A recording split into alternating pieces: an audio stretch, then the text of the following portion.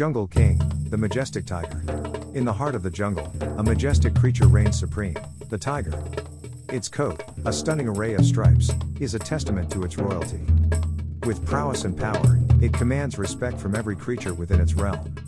Yet, despite its strength, the tiger symbolizes grace, beauty, and the delicate balance of nature. This is the Jungle King, the majestic tiger, the true embodiment of wild beauty.